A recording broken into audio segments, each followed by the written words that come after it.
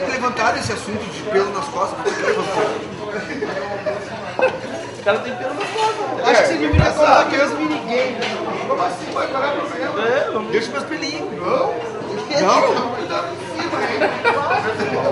Oi, galera!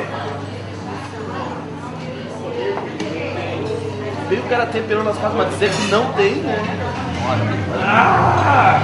Olha meus pelinhos nas costas. Ah, não, pega, pega, quer pegar, ó, pega. Tem uns aqui. Dá uma curtida, dá uma curtida.